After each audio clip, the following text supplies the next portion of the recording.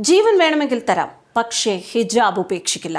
കർണാടകയിൽ ഹിജാബ് വിഷയം കത്തുമ്പോൾ പ്രതികരണവുമായി Congress M L A Kaneez Fatima. ഹിജാബ് തർക്കം മുറുകുമ്പോൾ കർണാടക സർക്കാർ പുറത്തിറക്കിയ പുതിയ ഉത്തരവിനെതിരെയാണ് പ്രതിഷേധം ശക്തമാകുന്നത്. സ്കൂളുകളിലും കോളേജുകളിലും കുട്ടികൾ ഹിജാബും കാവിശാളും ധരിക്കരുത് എന്ന് കർണാടക സർക്കാർ കടുത്ത നിലപാടെടുത്തിരുന്നു.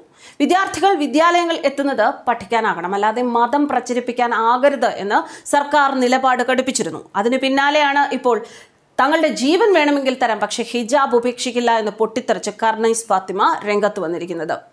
യൂണിഫോമിന് ചേരുന്ന ഹിജാബുകൾ അനുവദിക്കണമെന്നും അതുകൊണ്ട് തന്നെ ജീവൻ പോയാലും ഹിജാബ് ഉപേക്ഷിക്കില്ല എന്നും ഇവർ പ്രതികരിച്ചു. പെൺകുട്ടികൾ അടിച്ചമർത്തപ്പെടുകയാണ്. പരീക്ഷയ്ക്ക് രണ്ടു മാസം മുൻപ് സ്കൂളുകളിൽ അവരുടെ പ്രവേശനം നിഷേധിക്കപ്പെടുന്നു. അതിനാൽ എല്ലാ ജാതിയിലും മതത്തിലും പെട്ട ആളുകൾ കലബുറഗിയിലെ ഡി സി ഓഫീസിൽ ഒത്തുകൂടി പ്രതിഷേധമുയർത്തുകയാണ്. യൂണിഫോമിന്റെ നിറത്തിനനുസരിച്ച് ഹിജാബിന്റെ കളർ മാറ്റാൻ തയ്യാറാണ് എന്നും പക്ഷേ അത് പൂർണമായും ഒഴിവാക്കാനാണ് പറയുന്നതെങ്കിൽ അത് അംഗീകരിക്കാൻ കഴിയില്ല എന്നും ഞാൻ നിയമസഭയിലും ഹിജാബ് ധരിക്കുന്നുവെന്നും അവർക്ക് കഴിയുമെങ്കിൽ അവർക്ക് എന്നെ തടയാമെന്നും കർണീസ് ഫാത്തിമ പ്രതികരിച്ചു. അതേസമയം മുസ്ലിം പെൺകുട്ടികൾ ഹിജാബ് ധരിച്ച് കോളേജ് യൂണിഫോമിന്റെ ചട്ടങ്ങൾ ലംഘിക്കുന്നതിൽ പ്രതിഷേധിച്ചാണ് സർക്കാർ പുതിയ ഉത്തരവ് പുറത്തിറക്കിയത്. വിദ്യാഭ്യാസ സ്ഥാപനങ്ങളിൽ സമത്വം സമാധാന അന്തരീക്ഷം ഇവയെല്ലാം തകർക്കുന്ന വസ്ത്രങ്ങൾ ധരിക്കരുത് എന്ന് ഹിജാബ് വിവാദവുമായി ബന്ധപ്പെട്ട് പുറത്തുവന്ന ഉത്തരവിൽ വ്യക്തമാക്കുന്നുണ്ട്.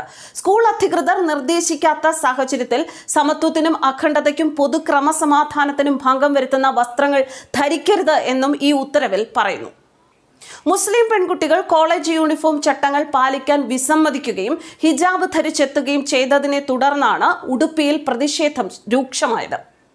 ആൺകുട്ടികൾ കാവിഷോൾ ധരിച്ച് എത്തിയതോടെ ഹിജാബ് കാവിഷോൾ എന്നിവ ധരിക്കുന്നത് നിരോധിക്കാൻ കോളേജ് അധികൃതർ നിർബന്ധിതരാവുകയായിരുന്നു.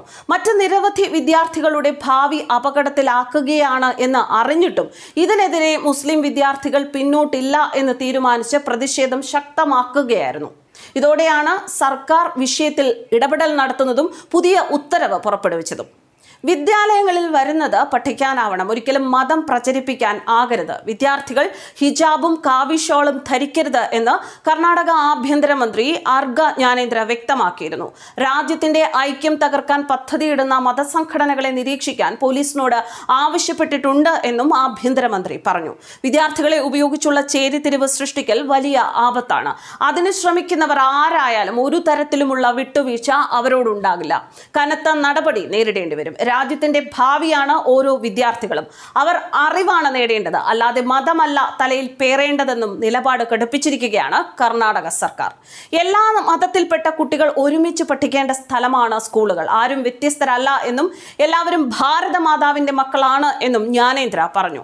ആളുകൾക്ക് സ്വതന്ത്രമായി മതം ആചരിക്കാനും പ്രാർത്ഥനകൾ നടത്താനും പള്ളികളും മസ്ജിദുകളും ക്ഷേത്രങ്ങളും അങ്ങനെയുള്ള സ്ഥലങ്ങളുണ്ട് എന്നും ദേശീയ ഐക്യദാർഢ്യത്തിന്റെ സംസ്കാരം വളർത്തിയെടുക്കാൻ സ്കൂളുകളിൽ കുട്ടികൾക്ക് അക്കാദമിക് അന്തരീക്ഷം ഉണ്ടാകണമെന്നും അദ്ദേഹം പറഞ്ഞു.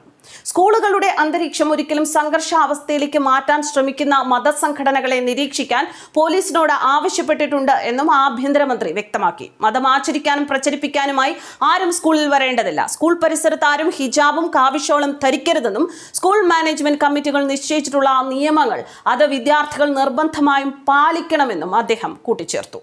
News desk കർമാനസ്.